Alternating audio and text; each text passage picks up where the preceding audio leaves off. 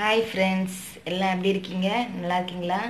இன்னைக்கு நாங்கள் மைதா மாவும் கோதுமை மாவு உருளைக்கிழங்கு யூஸ் பண்ணி ஒரு ஸ்நாக்ஸ் செய்ய போகிறோம் எப்படி செய்யலாம்னு பார்க்கலாம். பார்த்தீங்கன்னா நான் கோதுமை மாவு எடுத்திருக்கேன். இந்த கோதுமை மாவுக்கு கோதுமை மாவு எவ்வளோ எடுத்துருக்கீங்களோ அதுக்கு வந்து ஒரு பாதி அளவுக்கு வந்து நீங்கள் மைதா மாவு எடுத்து சேர்த்துக்கிறேன். நீங்கள் மைதா மாவு வேணும்னு நினச்சா வெறும் கோதுமை மாவு எடுத்துக்கோங்க. ஒரு கால் ஸ்பூன் அளவுக்கு மஞ்சத்தூள். இப்போ ஒரு ஸ்பூன் அளவுக்கு அரிசி மாவு சேர்த்துக்கிறேன். இப்போ நம்ம இந்த மாவுக்கு தேவையான அளவு உப்பு போட்டுக்கலாம். இப்போ தண்ணி சேர்த்து நம்ம சப்பாத்தி மாவு பதத்துக்கு பிசைஞ்சிக்கலாம். பார்த்தி நல்லா பிசைஞ்சிட்டேன் பார்த்திங்கன்னா மாவு பிசைஞ்சிட்டேன். கொஞ்சமாக எண்ணெய் ஊற்றி நம்ம அதை ஊற வச்சுக்கலாம். இப்போ பார்த்திங்கன்னா அதை அப்படியே எடுத்து ஓரமாக வச்சுருவோம். இப்போ உருளைக்கிழங்கு எடுத்திருக்கேன். இந்த உருளைக்கிழங்கு வந்து வேக வச்சு எடுத்திருக்கேன். நல்லா மசிச்சுக்கலாம் இதை. இப்போ உருளைக்கிழங்கு பார்த்தீங்கன்னா மசிச்சுக்கிட்டேன். அரை ஸ்பூன் அளவுக்கு இஞ்சி பூண்டு பேஸ்ட் சேர்த்துக்கிறேன். கால் ஸ்பூன் அளவுக்கு மஞ்சத்தூள் சேர்த்துக்கிறேன். கொஞ்சமாக கட் பண்ணி வச்சுருக்க கொத்தமல்லி இலை சேர்த்துக்கிறேன். குட்டி குட்டியாக நறுக்கணும் ரெண்டு பச்சை மிளகா சேர்த்துக்கிறேன்.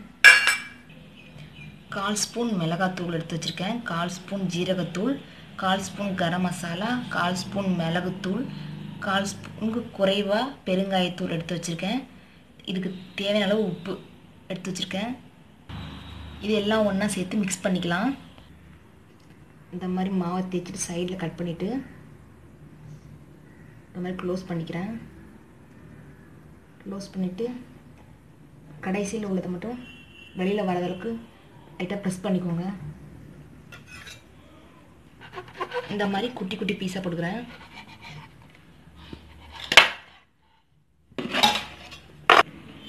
இந்த மாதிரி ஒரு பீஸ் எடுத்துக்க பாருங்க.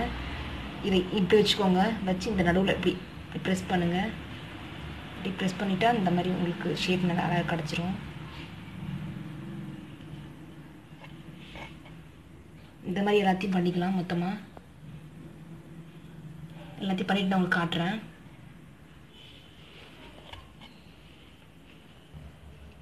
இப்போ பார்த்தீங்கன்னா நம்ம எல்லாம் ரெடி பண்ணிட்டாச்சு. பார்த்தீங்கன்னா எல்லாம் ரெடி பண்ணியாச்சு.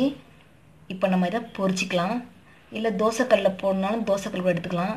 ஆனால் இப்போ நம்ம கடாயில் எண்ணெய் ஊற்றி பொரிக்க போகிறோம் நான் இப்போ கிச்சனுக்கு வந்துட்டேன்.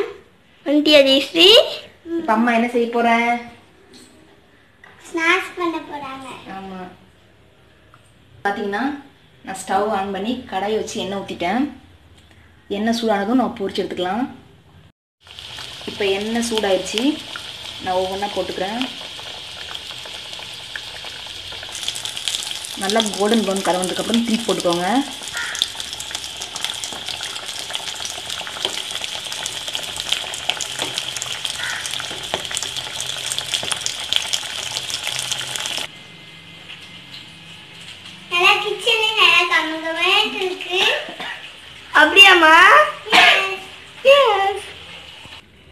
இப்போ நமக்கு ரெடி ஆயிடுச்சு நான் பிளேட்டுக்கு மாற்றிக்கிறேன் இப்போ நம்மளோட ஸ்நாக்ஸ் ரெடி ஆயிடுச்சு ஜெய்ஸ்ரீக்கு மட்டும் நாங்கள் குட்டியாக எடுத்து வச்சுருக்கோம். ஜெய்ஸ்ரீ இருந்தால் உனக்கு மட்டும் குட்டி ப்ளீஸ் ஆ பாரு ஜெயஸ்ரீ.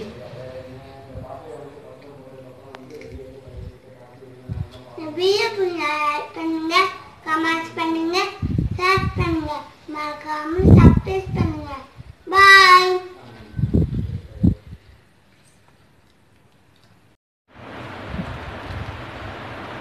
நல்லா சூப்பராக இருக்குது உப்பு காரம் எல்லாம் நல்லா கரெக்டாக இருக்குது